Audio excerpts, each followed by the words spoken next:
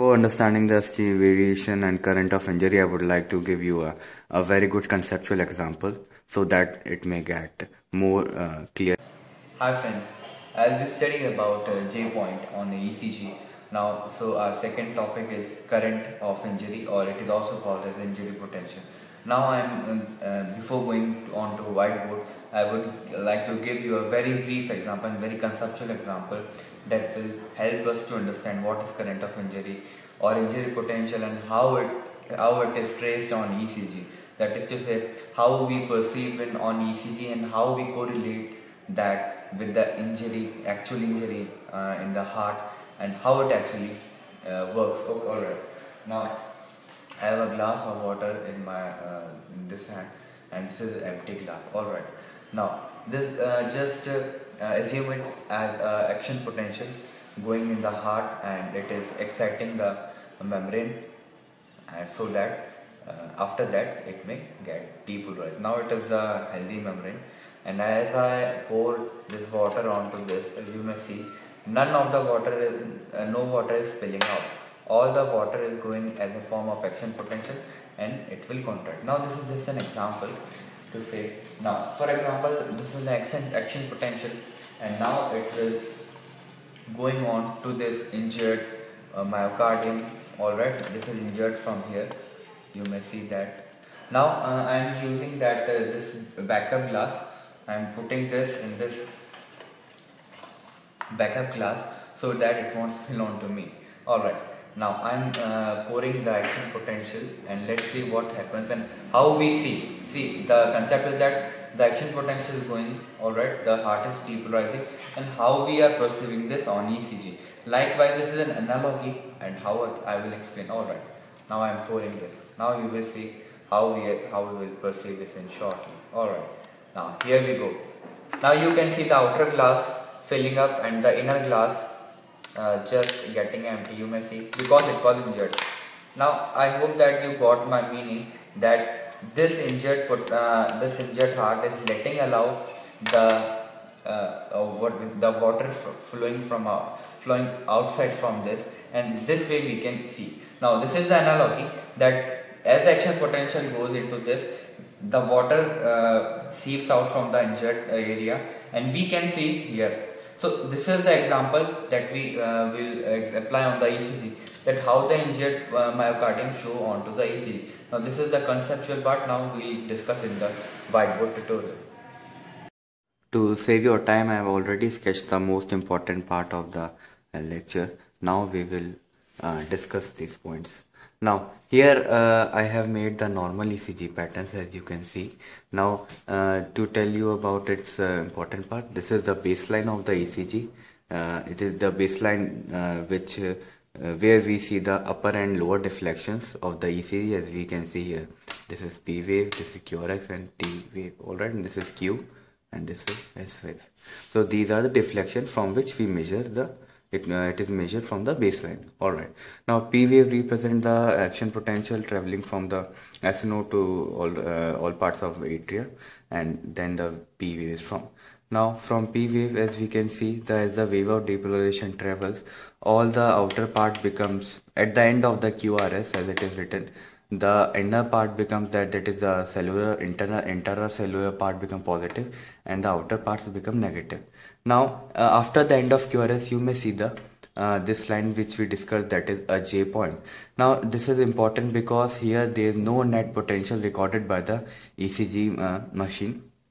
So here it is an important part where we can see any if any part is injured uh, which we will discuss later that can be shown in the ECG. Alright, now or we may say that the first uh, uh, scrutiny area of ECG. Alright, now after that end of uh, now uh, after depolarization all the uh, the contract this will contract ventricle will contract this is the left and this is the right and the, the ejection would be followed after that repolarization will ensue now we can see here that by the depolarization all the membrane will get polarized and we can see the positive charge distribution outside and negative charge in, inside inside the uh, uh, heart uh, myocardium that is the myocytes. And this is the normal pattern all right. So now we uh, have to focus that the net depolarization vector here will be now 0 there would be no vector here also. So 0 vector and 0 vector. That is to say end of t wave we can see that tp segment. This is tp segment which is isoelectrical uh, lying on the baseline which uh, where the uh, net voltage is zero relatively. All right. Now this is very important because these two area actually the scrutinical area of the ECG uh, where we need to understand the most now here comes the abnormal part where we may get ST variation uh, TP line segment due to that alright now uh, I am showing not and I'm uh, not showing the P wave part alright this we have discussed and it is not of uh, interest also. First of all uh, for example this star is an injured area. All right. Now first of all uh, let us focus on this star injury pattern. Now as we know that the sodium potassium pump maintains the uh, hyperpolarization state that is 3 Na outside and 2K inside the membrane. And this piece sodium potassium pump. Now uh, when the uh, there is injury of any for example mechanical trauma infection or ischemia we find that these are not functional as because the ATP is not produced by the cell. Now uh, it is so it will lead to the slightly depolarized state. By uh, slightly depolarized state i mean that if we have a membrane here and the membrane will get always positive here and negative outside. That is the depolarized state we can represent here. All right this is positive inside the cell and this is negative radiating. So you will get uh, that from here we represent the vector like this. Because in ECG this is very important that the vector point always to the positive direction. So here outside we and also the uh, interstitial charge it is the interstitial charge which matters not the intracellular. All right? This is this doesn't matter for ECG it is this charge which is recorded. So you have to see that it is a negative charge outside and which carries the potential current of injury vector.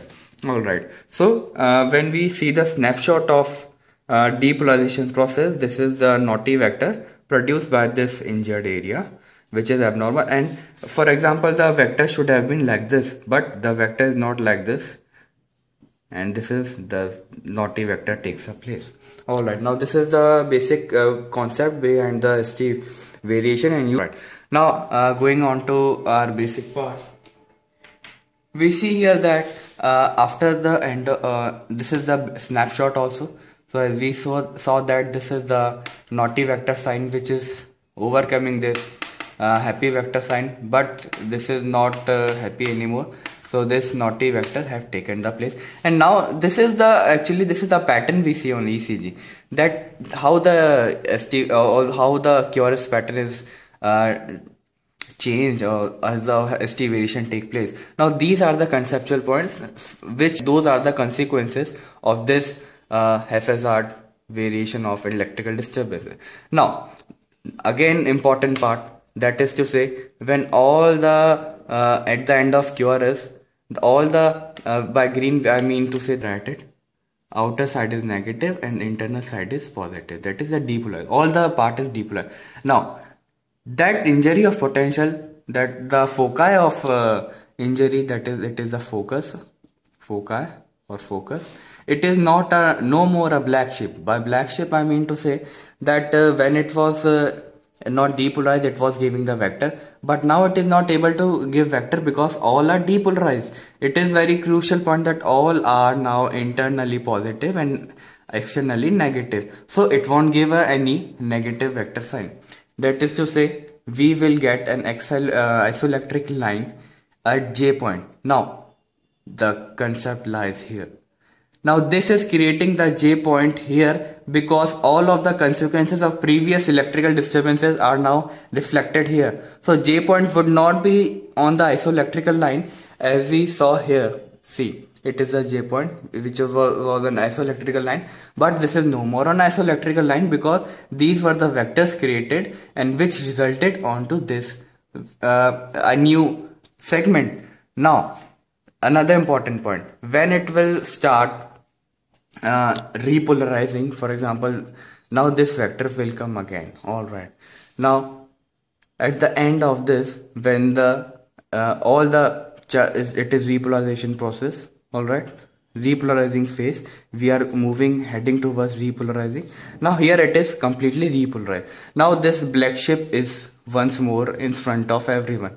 This black ship is the injured area. Now we can see the vector here. Now as we know after the end of t wave we expect also now the t, uh, tp segment uh, that which is the isoelectrical normally.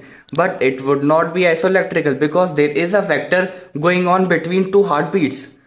Heartbeat 1 and heartbeat 2 now it is 2 now after that obviously the TP segment uh, determine the two heartbeats. So between two uh, two heartbeats there would be a vector uh, injury vector injury vector which will take over the normal isoelectrical line. So it is actually the TP segment variation which is reflected onto the J line. Uh, it is clearly evident that uh, TP segment is distorted but on ECG we don't see it as uh, distorted but in fact we uh, see this changes on J point.